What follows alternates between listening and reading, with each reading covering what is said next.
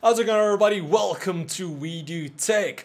Now with me making all of these different how to mine videos, uh, a lot of people send me messages asking if the hardware they have is good enough to mine these cryptocurrencies or they aren't able to get this mining program to work properly. It just keeps throwing out uh, errors and just questions like that. And the most times the answer with all of these is that they do have old systems or laptops even and they want to mine with their CPU.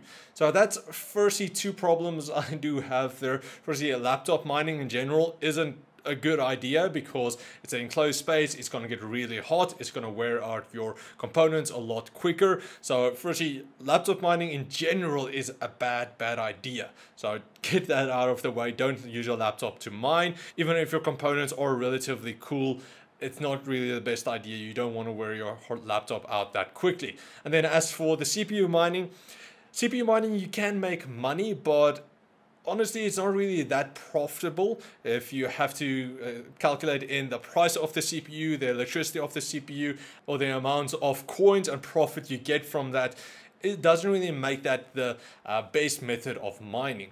Now, I'm not saying that you shouldn't mine with your with your CPU. You can make some money off that, which I will go into this video a bit later on. But in general, it's not always the best idea and the most profitable. So I'm going to get into that a bit more later. But now, just an example, some of the questions I get uh, is from people who use, again, their laptops or it's a 10-year-old Dell system that they got out of the cupboard somewhere and it's running a Core 2 Duo or even a first or second generation i3. Now, if you do have that old of CPUs, then you shouldn't mine with those systems. You can turn it into a mining rig if it does have enough PCI Express ports, but for just CPU mining, you're not going to make anything and the electricity cost is going to be way more than the profit you would make. So just getting this out there, if you are using a, a CPU that is anywhere lower than a Core i5 6th generation CPU, then you're not honestly going to make anything. And even sometimes with these i5s, they're not really that that profitable. If you have a Ryzen system, then uh, maybe you can make a bit, but that's honestly also up to you uh, because most of these calculations is for 24-7 mining and not just on-off, on-off mining. So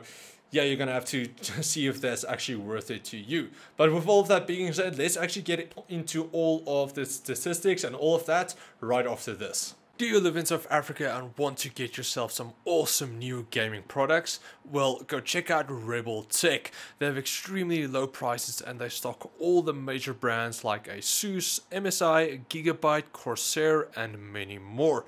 So go check out rebeltech.co.za to go get the products you're looking for at a low price. Okay, so first up, there's not really a lot of algorithms that support CPU mining in general. The main one, of course, is CryptoNight for like Monero, Electroneum, and then also Sumo Coin. So that's the most popular one. But you can also use X11 to mine as well, and then just a few smaller ones. But there's not really a bunch of them that's kind of big, really. So CryptoNight is the most popular one, and we're going to take a look at that. Then secondly, I have to find the hash rates for a bunch of the CPUs. Now, currently, I don't have a lot of CPUs just lying around that I can test all of the hash rates and everything for. And if you go online, there's a lot of people that did some testing with one or two CPUs, but it depends on what hardware they used and what uh, miner they used and all of that. So there's a lot of factors involved. But the best one I got was on the forum of ServeTheHome, where Patrick, the one of the administrators, actually did test a bunch of the CPUs. It's mostly some higher NCPs like Xeons and AMD EPYCs, but he did also do some of the Ryzen's and then also some of the Intel Core i7s like the 7700K and just the 7700.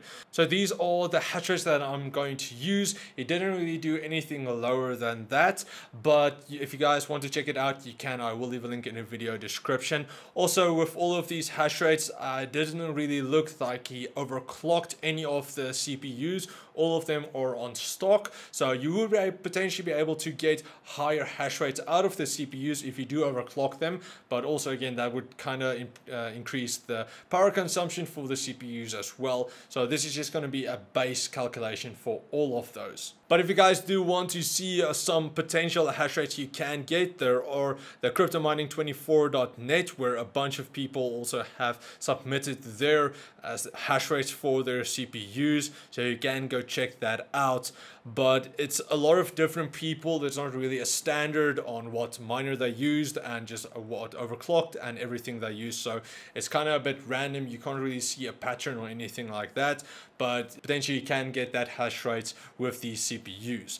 But again, I'm just going to use the one from ServeTheHome because it's one person that had a standard for all of the different CPUs. So I know the base is relatively good. Okay, then as for the CPUs that I took for these testings, I took the three uh, Intel CPUs, the i5-7400, the i7-7700, and then the i7-7700K. Got their hash rates and also just I threw in their price as well for the CPU. And then I got a bunch of Ryzen CPUs. So the uh, cheapest one is going to be the Ryzen 5 1500X, and then all the way to the Ryzen uh, Threadripper 1950X. I just threw that one in. It's not really a consumer grade CPU, but more of a higher uh, enthusiast CPU. But sometimes the people have them and they would like to use them uh, if they're not working.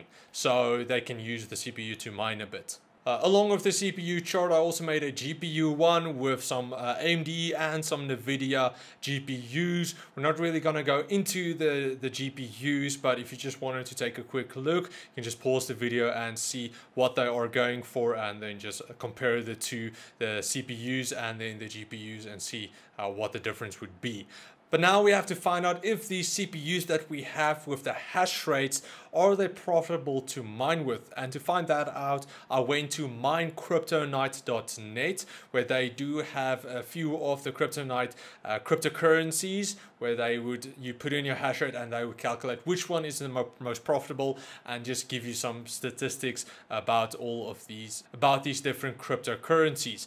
Now currently when I did my testing, it was that Intense Coin was the most profitable, but just before that, before I did, actually made all of the graphs, before that Electroneum was more uh, profitable. So it does fluctuate a lot, you know, with the cryptocurrency market. It does differ uh, when you guys watch this now. Uh, Monero could be most profitable again. It will fluctuate the entire time, but the uh, hash rates you have will still be the same. So if you guys just want to calculate that in, you can still go to minecryptonight.net, put in the hash rates of your CPU or just the ones that I will list as well. Now, as for minecryptonight.net, they did have Intense Coin, Electroneum, Karbo, Lavier Coin, Sumo Coin, Monero, and Bytecoin. Now, Monero is the most well-known CryptoNight algorithm and is also one of the biggest uh, cryptocurrencies at the moment, going for around $300 per coin.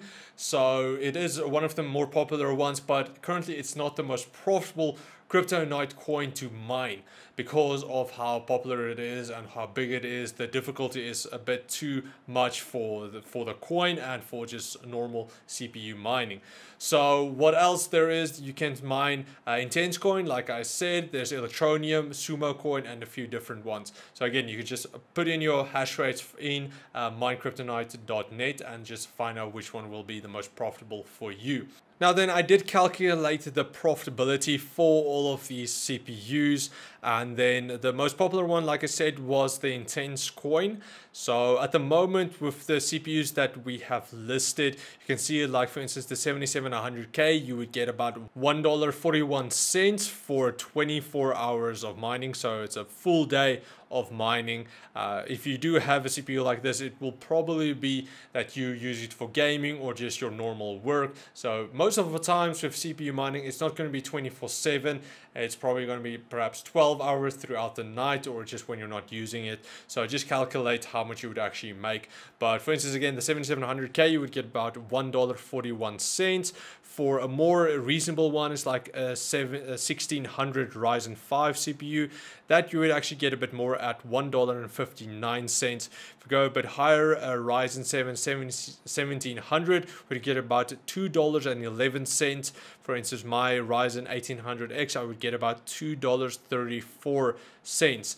Now, again, all of these are not overclocked. So if you overclock, then you would make a bit more, especially with that Ryzen, uh, with that Intel 200K. That one you should be able to get a bit more and even the uh, Ryzen 7 7700 you can overclock to about 3.8 gigahertz so that you can also calculate in. And then as for the Ryzen Threadripper 1950X you would get about $5.25. So that is one of the most powerful enthusiast consumer grade CPUs, uh, but again, it is a bit pricey. But now as for uh, return of investment, this is where how long it would take your CPU to mine 24 7 to actually get the amount you paid for it back. So for instance, if we go look at that, uh, Ryzen uh, i7 7700K would take you about 240 days to get your return of investment. So that's quite a bit high. But as for the Ryzen 7 1700, you would only take about 142 days to get your money back for a Ryzen 1800X, it's going to be a bit longer. It's going to take about 229 days. That's again uh, because you can overclock it, so you would it would take a bit less time. So you can you can just factor in about 10% or sometimes 20%. You can just look at that.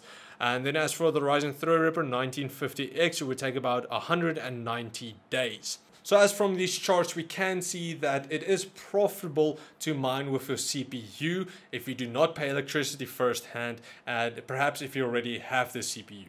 Then I would say put it into mining. You can still use it to make yourself some extra money but CPU mining is it's going to make your CPU run a lot hotter. You're not really going to able to use your system when it's mining, so you are going to have to leave it for 12 hours or whatever to actually mine. Otherwise, it's not really going to make you anything. Now then, as we can see, CPU mining is profitable. It is going to make you some extra money. Just for example, if we take the 70, uh, 1700 Ryzen CPU, it gets you about $2.11. So that is something that you can make. And again, you can get your money back in 142 days, which isn't too bad but that is also if you don't pay electricity firsthand with the Ryzen uh, 1700 is about a 65 watt TDP uh, CPU so you have to calculate that in as well which will reduce your profitability a bit as well which in the end is going to take you longer to pay off your CPU. So in conclusion, it is profitable to mine with your CPU, but to an extent. So if you do have some of these CPUs that I mentioned, which are relatively powerful, more gaming grade CPUs, then I would say yes, use them to mine for a bit. You will be able to get something out of it along if you mine with your GPU. But again, most of these people that use their CPUs to mine don't necessarily have these CPUs. They have, again, a 10 year old Dell Core 2 Duo system or uh, second generation i3. With those, it's not going to be profitable to mine with, and I would not recommend it to do that. It's only if you have newer generations of CPUs that's going to be profitable to mine with. But also, yeah, it's going to take a lot longer to get your return of investment uh, because of the power you have to pay, and then the CPU is already relatively expensive and all of the other hardware you have. So you have to calculate that in. Then let's say you mine with your Ryzen uh, 7 1700, you mine 12 hours a day for for an entire year. You should be able to make your uh, money back within a year, and then also you'll be, potentially be able to buy a new CPU at the end of that year, which is not too bad actually. But now again, you have to also calculate in that the uh, markets will fluctuate the entire time. Uh, for instance, again, like I just saw that uh, at first Electroneum was more pro more profitable, and then Intense Coin. So it is fluctuating the entire time. You can't really predict where it is gonna go at that stage. You can just put it up to mine and then trade your coins and get some extra cash out of that. But yeah, that's pretty much it. I just want to show you guys that if you do have an older generation of CPUs, it's not profitable to mine with. It's only with newer generations of CPU and higher end CPUs, gaming grade ones. So if you do have those, then shop for you. but otherwise I wouldn't recommend it. And especially again, do not mine with your with your laptop. It's not going to be worth it even if you have a strong laptop. You're going to wear it out way too quickly and you're going to damage it. So do not mine with your laptop. But otherwise yeah that's pretty much it for this video. Uh, if you guys do have some of these CPUs, use them to mine, make a bit of extra cash.